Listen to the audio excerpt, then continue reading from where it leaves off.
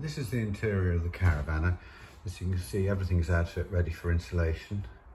So you've got these two large windows next to the door, which run quite low. And then the windows above it, the awning's actually out of the, and then comes around to the back. Climbing around the original liner, which is still here.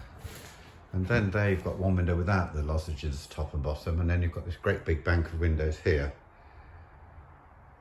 which lead round to the front.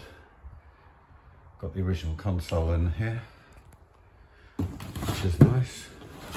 Roller shutter doors and the corner windows. You can see we've put a new floor in it. So the floor is all done, the chassis was rebuilt by us. And what I'll do now, up here you've got the, thing. you can see all of the um, seams have been leak sealed. So that's going to make it very much watertight and it has been raining a lot over this weekend and I've got no evidence of water in it at all. A little bit of evidence down there which looks like a window seal which we can do. So that's the interior. I'll now measure it up for you